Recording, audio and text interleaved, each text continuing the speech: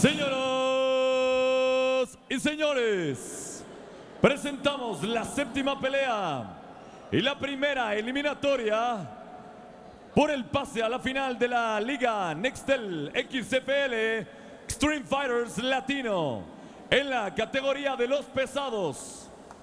Presentamos desde Pachuca, representando a la disciplina de Muay Thai, con un récord de 8 ganados, 2 perdidos y 0 empatados. 20 años de edad, 1 metro y 85 centímetros de altura, 90 kilogramos, él es Heriberto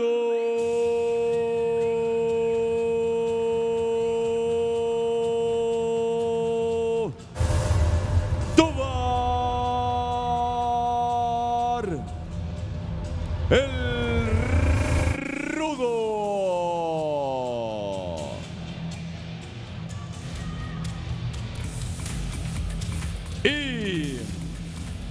desde Tijuana, Baja California, representando a la disciplina del judo, con un récord de 5 ganados, 0 perdidos y 0 empates.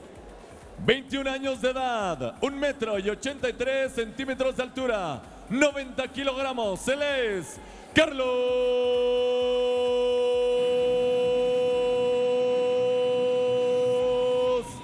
Arias.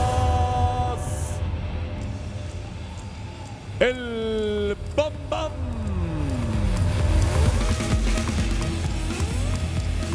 El referee de esta pelea, Master Gerardo Arrechea.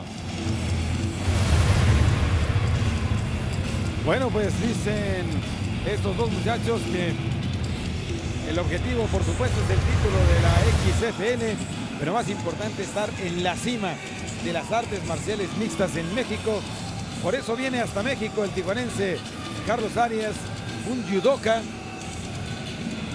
Me parece que es de los eh, pocos que hemos visto que ejercen esta disciplina eh, y que han venido a competir a la XFL. Y como bien lo mencionas, también recordarles este, en octubre los Juegos Panamericanos, precisamente una disciplina también, el judo que estará presente, al igual que el karate, y pues que obviamente eso jala a la gente que nos sigue en las artes marciales mixtas en contra de lo que sería Heriberto Tobar desde Pachuca, el rudo, con el estilo Guillermo del Muay Sí, a veces el judo que requiere Edgar, su kimono, su yudogi, eh, ha empezado a utilizar ya la modalidad pues, de luchar sin, sin el kimono, ¿no? Que el judo se especializa en derribes y hacer uno que otro sometimiento con, con el saco, ¿no? Vamos a ver qué tal le va aquí a Carlos Arias, que pues puede ser su buena estrategia usar el clinch, va invicto, pues contra el pateo de Mutuay del Rudo de Pachuca.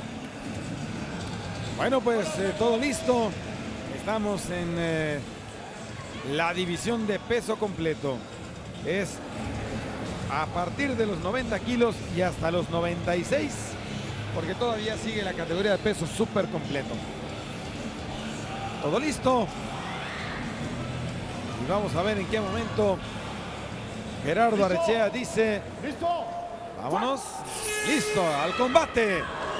En la división de peso completo, en pantaloncillo rojo y negro, o negro con vivos rojos, aparece justamente el rudo Heriberto Tobar. Mientras que Carlos Arias, el tijuanense judoka, con el pantaloncillo negro, que siendo especialista en el judo, comenzó tirando patadas de baile. Eso es muy importante que mencionas, y lo mencionaba Guillermo, a diferencia de un deporte como el judo, con el judogi, pues obviamente las artes marciales mixtas te tienes que enfrentar con personas o con tu oponente que sabe tirar golpes, patadas, rodillas, codos y lo que sería en todo caso saber también lo que es la lucha en el piso. Por lo tanto, como bien dijiste, el judoka empezó tirando golpes, respetando a su oponente, que como bien decía, trae esos famosos shorts característicos de- del estilo de Muay y pues veremos a ver si ahorita aquí tiene la oportunidad de aplicar alguno de los derribes de judo. Bueno, por lo pronto le conectó un ganchazo tremendo a la mandíbula. Heriberto Tobar a su oponente Carlos Arias, que reaccionó tratando de acorralarlo contra la reja. No lo consiguió y está buscando el derribe.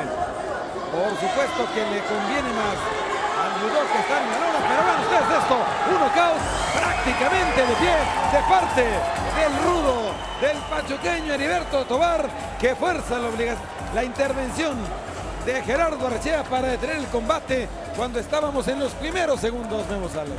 Pues sí, eso es lo que quizás mencionamos al inicio del round, ¿no?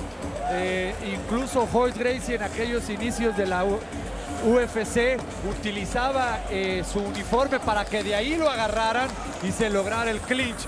Probablemente le falló o necesitó el kimono para poder tener un momento dando de, de donde poderse agarrar, pero bueno, pudimos ver un castigo muy fuerte, muy oportuna eh, la participación de Gerardo y bueno, ahí está, esos golpes que estuvieron castigando muy rápido, como bien lo mencionas, al judoka. Así es, a este Carlos Arias, que fue prácticamente noqueado de pie. Rodrigo, no es, no es eh, fácil ver esto. Además, estamos hablando de la máxima división. El peso de estos hombres. Vean ustedes, primero la derecha, quiero decir la izquierda cortita, luego la derecha. Y Gerardo Arcea interviene porque de verdad pudo haber sido de fatales consecuencias permitirle continuar el castigo al tijuanense Carlos Arias. Así es, las asistencias médicas checando este, a lo que es este, el, perdedor y tenemos lo más importante que bien decías en los pesos pesados, que es lo que tenemos que ver, pues se convierte en una pelea ya más cuerpo a cuerpo, a veces el- eh, la, cantidad de peso puede ser difícil que los oponentes, en este caso el judoka, haya podido utilizar su grappling y se convirtió pues en el knockout técnico que acaba de suceder. Pues si recuerdas, estimado Edgar, en el pasado la llamamos la categoría Rino, haciendo alusión pues a, a estos animales que requieren mucho peso y que prácticamente embisten. Así es. y, bueno, pues eh, Bazooka Joe nos tiene ya el eh, veredicto oficial de esta batalla. Señoras y señores, presentamos al vencedor de esta séptima pelea. Al minuto con 18 segundos del primer round por knockout, técnico, el vencedor es Heriberto